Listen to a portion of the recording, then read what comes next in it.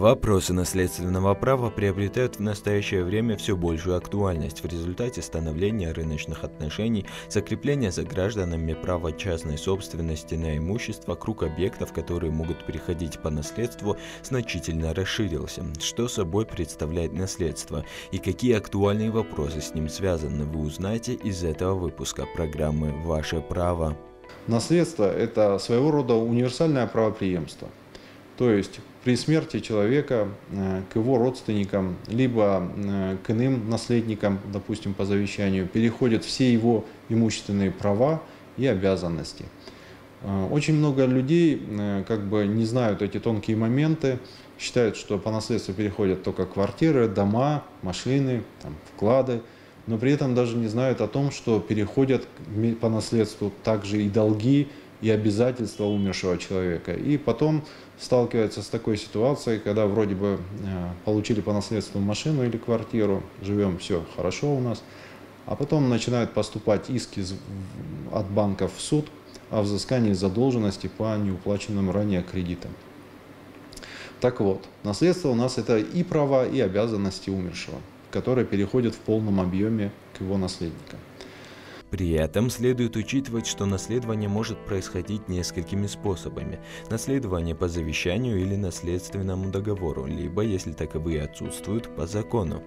А, любой гражданин при жизни э, вправе завещать на свое усмотрение все принадлежащее его имущество, либо его часть э, по своему усмотрению, либо своим родственникам, либо кому-то из них, либо вообще может завещать посторонним лицам, или юридическим лицам, и даже государству. С недавнего времени а, появилась возможность супругам составить совместное завещание. То есть наряду с тем, что один из гражданин сам самостоятельно может подать, а, ну, составить завещание и оставить свое имущество по наследству, так и супруги совместно могут прийти к нотариусу вместе, обратиться и составить совместное завещание. При составлении завещания нужно учитывать, что может быть а, обязательная доля возникать. То есть у наследников, которые находятся у попечения умершего, либо нетрудоспособные родственники умершего, имеют в любом случае, вне зависимости от завещания, обязательную долю.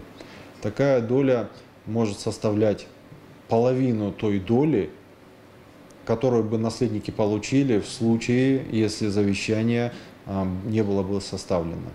То есть, если мы говорим о гражданине, об умершем, у которого есть, допустим, э, двое детей, нетрудоспособных в силу пенсионного законодательства, то есть являющиеся пенсионерами, либо э, являющиеся инвалидами, либо являются, если они малолетними детьми, то у них э, при наличии завещания к постороннему лицу, они при отсутствии завещания получили бы по одной второй, половина от э, половины, получается не менее чем по одной четвертой доли в праве, они получат вне зависимости от наличия либо отсутствия завещания.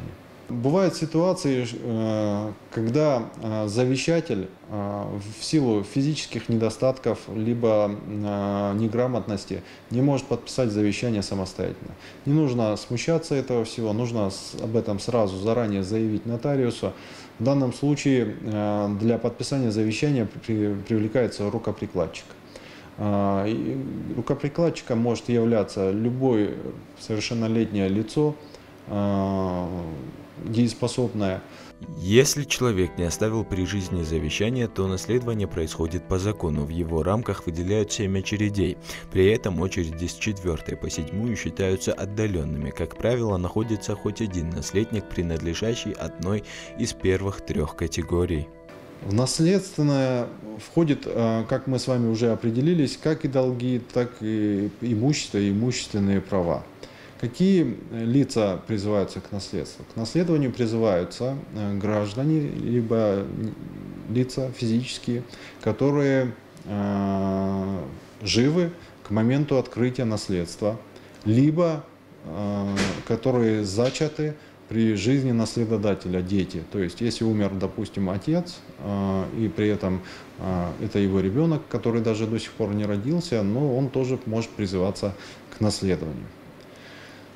Нужно иметь в виду, что есть такое интересное понятие, как недостойные наследники. Это лица, которые по закону хоть и имели бы право получить наследство, но могут быть отстранены от наследования. Такими лицами являются это граждане, которые своими умышленными действиями причинили э, вред э, здоровью и жизни наследодателя, либо своими умышленными действиями попытались увеличить свою долю в наследстве, либо уменьшить долю в наследстве других наследников. То есть такие лица могут быть в судебном порядке отстранены от наследования. Срок принятия наследства ограничен, он составляет полгода с даты открытия наследства, собственно считается открытой для наследования со дня гибели наследодателя. Если наследник не получил имущество за данный срок, оно переходит во владение государству. Пролонгация срока реальна, если у наследника получится доказать, что он не располагал возможностью пройти процедуру своевременно, например, при болезни или при пребывании за рубежом. Самая главная ошибка, которую допускают наши граждане, она заключается в том, что э, очень часто наши люди по незнанию пропускают срок для принятия наследства. В соответствии с законодательством общий срок для принятия наследства составляет 6 месяцев. В случае пропуска указанного срока наследники э, вынуждены в дальнейшем порядке оформлять свои наследственные права в судебном порядке. Есть такое понятие, как фактическое принятие наследства. То есть, если наследник э, своими действиями э, после смерти наследодателя совершил какие-то действия по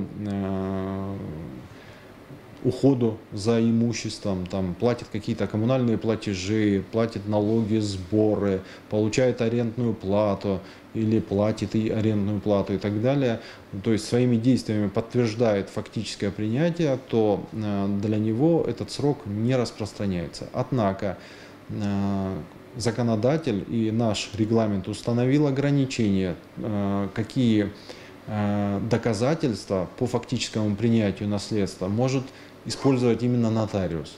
Таких всего два. То есть фактическим принятием наследства, которым может пользоваться нотариус по регламенту, является на сегодняшний день это совместная регистрация э, наследника с наследодателем в жилом помещении наследственном, которое осталось э, наследнику.